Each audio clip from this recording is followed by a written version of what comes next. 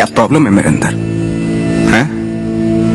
मेरे लंबे लंबे दांत हैं, लंबे लंबे नाखून हैं, मेरे मेरे मेरे पैर पीछे हैं, लंबी पूछ है।